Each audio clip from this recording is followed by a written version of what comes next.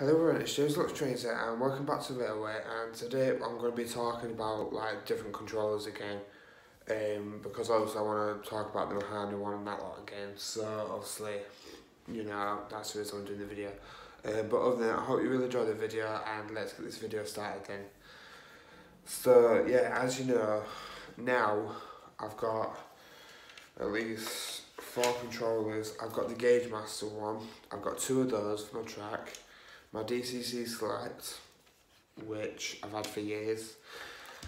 This old Hornby controller, which I'm getting rid of, finally. And my newest one, what I love, is my Mahani one. Um, right then, so the first ones we're going to talk about, just to get the rubbish ones out of the way pretty much, is going to be the old Hornby one and the Mahani one. Now, in my opinion, right, and a lot of people might agree with me on this, right, but in my opinion, I'm surprised that Hornby didn't think of using this feature for their um, Hornby controllers. Because if you listen, that clip there changes the direction of three locomotives, which I am going to show later on after I've talked about it all, guys.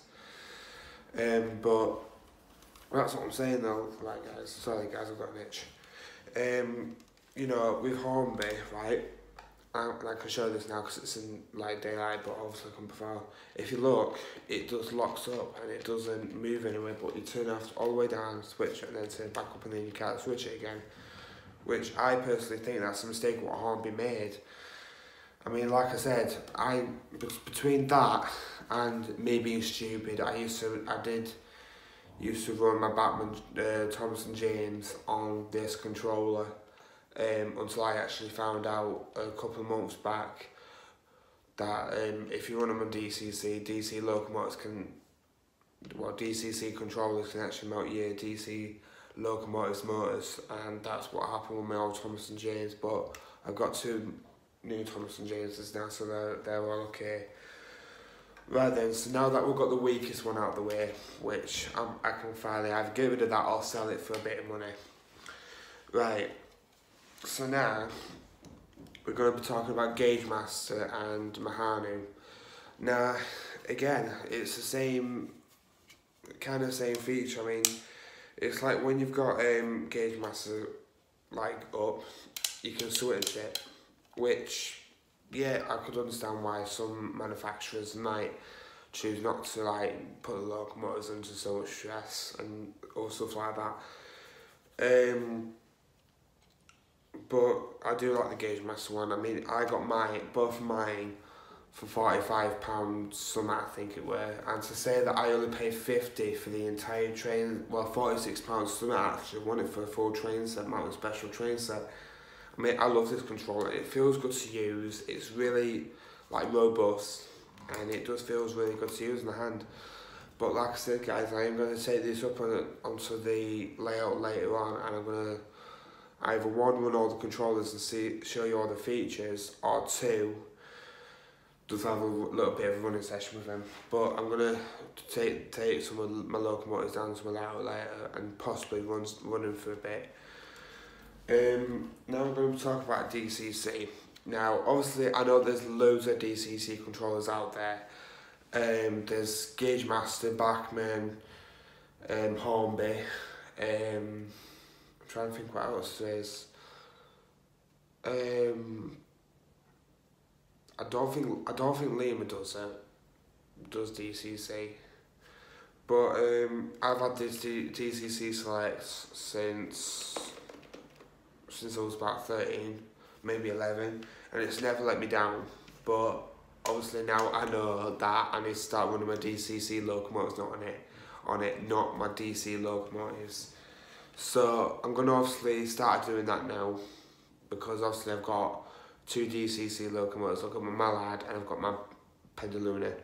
So they're my two DCC locomotives. Whether if back, in fact guys, that's what I want to ask you a lot.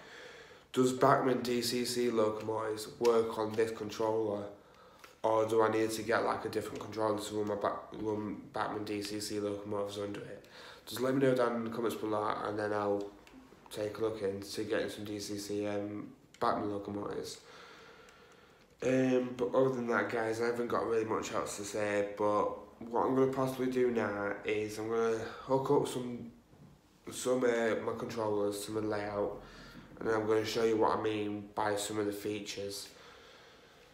So I'll have one Gauge Master one running, one the Hornby Selector will be running, and then I'll be running the rubbish Hornby controller, and I'll take out straight away and I'll then I'll be running the game, I mean, Mahana one last. So we'll go down to the layout now then guys, and I'll talk to you in a bit.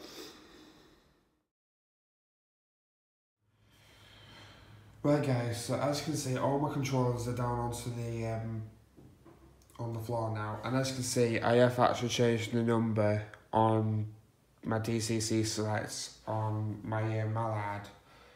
Um, I will go through how to do that, but it is quite um, long to do, if you know what I mean. So anyway, I'm going to show you the first one, which is the worst one of them all, I think. And that's the old Hornby controller. And as you can see, I've got the Hornby, little Hornby 04. So as you can see, I'm just using the power up now. And as you can see, all you can hear at the at the first glance, guys, is just like this horrible buzzing, and I hate it to the point where I'm like really worried that my locomotives might break. So I mean.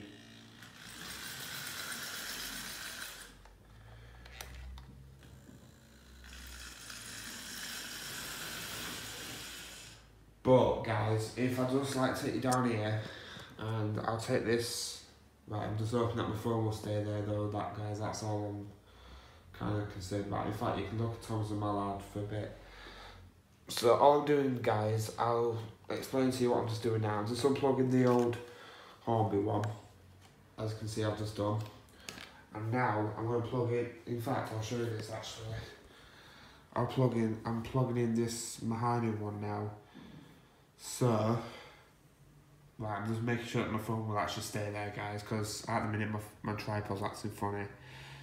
Right, guys, so as you can see, I'm just going to plug in, because obviously I've already got it connected up. I'm just going to bob it in there like that, and then the red light should come on like that. So that's the Mahoney one. And listen to this, guys, it sounds so much better now. See what I mean, guys? There's no screaming or anything. There's a locomotive. And that's the one thing I like about the Mahani one.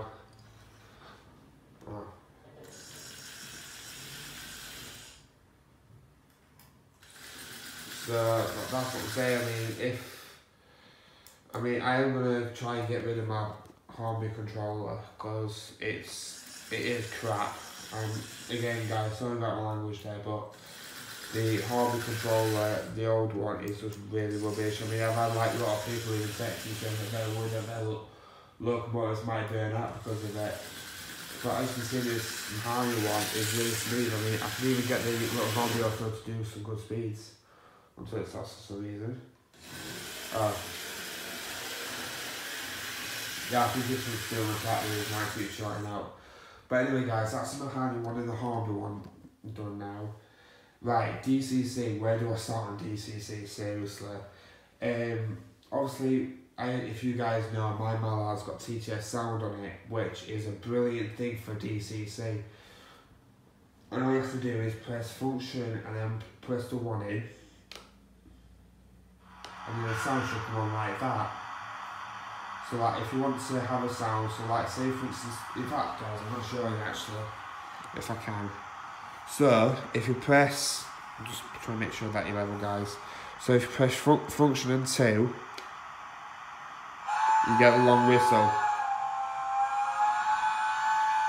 Now, if you press function 3, I think it's a short whistle. See? Um, and as you can see, guys, it is a really nice locomotive to have as part of your collection. In fact, I'm going to send it round for you guys. The Washington brand is beautiful, locomotive. It's one of my favourites. Other than James, obviously.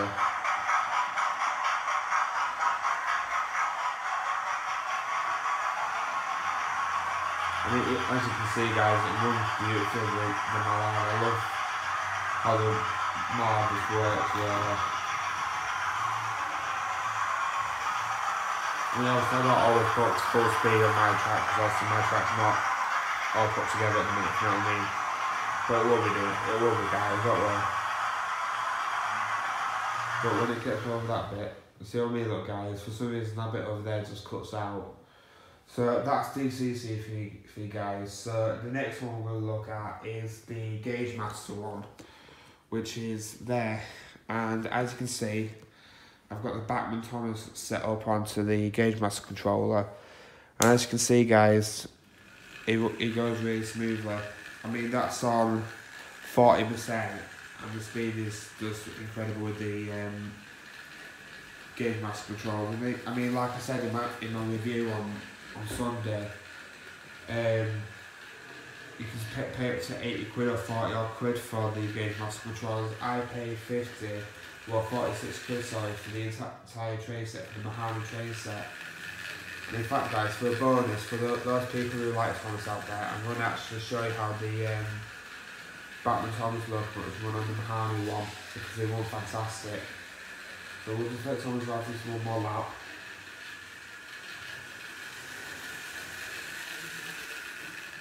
and then we'll put him onto the Mahani line, which is the one what the Hornby throws on. So if we just swap, make him swap lines,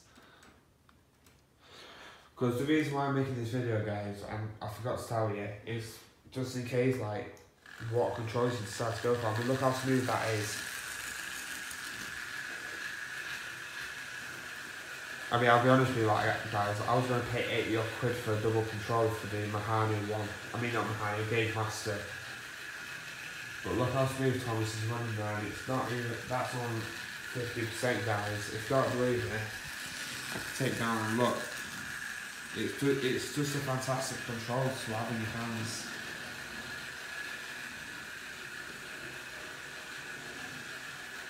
So anyway guys, um, that's enough for talking about controls. I'll flip the camera back round now. Sorry about me, I'm getting in the way. Um, and then I've got a couple of other stuff to show you as well, guys. So I'll talk to you in a bit, guys, and I'll, when I flip the camera back around. Right, guys. Um, so yeah, I hope you enjoyed that video today. Um, let me know down in the comments below what controllers is your favourite. But other than that, I can finally say goodbye to this one because I'm done with this one now uh, because obviously I won't be getting any more controllers. Well, I will be getting one more controller and that's the app-based controller. I'm really looking forward to getting that one.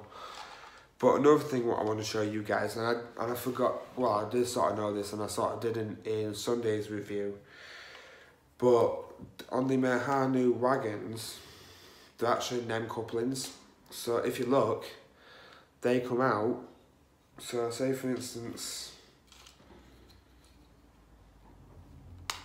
you wanted to like swap it for like a UK coupling, you can just bob it in and then there you go. You can just turn it into a UK rolling stock, which is a brilliant idea, I think. But yeah, guys, um, like I said in my video on Sunday, or whenever it were, I'm just glad that I finally found a controller because the Mahani controller, sorry that I'm not looking at the camera much, I'm just trying to fit another um, coupling hook in one of my trucks. I'll do it in a bit. Um, but the reason why I'm making this controller because obviously if you remember my last video I did actually make like a um, like a video dinner for, for like different controllers when I got my Gauge Master ones um, and I was to get another Gauge Master one but then Mahani came up thanks to Sam's Train so I thank him so much for showing me the controllers because they're fantastic with my Bachmann Thomas locomotives. But then again, uh, one of my mates on Facebook, he actually texted me, I think it was Craig who texted me, and he said the reason why the Mahani ones could basically work with the Bachmann Thomas locomotives is because the Mahani controller is based in the USA, which I, I think is correct. You might have to let me know down in the comments below. And that's the reason why they could work well with the Thomas range because the Thomas range was actually originally from the USA, wasn't it? So, um, like I said, I, you know, I just really love the fact that the controls really easy to use. It's base, yeah, it's basic, but you what what other gadgets could you possibly want on it? You know what I mean? But anyway, guys, other than that, I hope you really enjoyed the video today. I know. Oh, I keep forgetting to say this, don't I? I hope you all staying safe. Hopefully, fingers crossed, within two weeks we'll be out of this lockdown. So, you know, so I can go out and get more stuff and with to review basically because I'm running out of ideas. Another thing what I wanted to say to you guys is on the 12th of May, um, I know it might be a Tuesday, but I don't know whether to put the video out on Tuesday or Wednesday. It's the Thomas and Friends anniversary, it's 75th anniversary. Let me know down in the comments what you want to see me do for the Thomas and Friends anniversary, because I really need some someone's help to basically, you know, tell me what I need, what I could do for an idea. I mean, a lot of people said I could do a running session and have like some of the classic, um, some of the classic themes playing as the trains are going around the layout. And I thought that's not a bad idea. But anyway, guys, enough of me chatting about that. Um, I hope you have a lovely day today, and I guess I'll see you next time with whatever I'm going to be doing. And then see you later, everyone. Bye. And uh, please subscribe to my channel, and I guess I'll see you later then, guys. And then, see you later, everyone. Bye.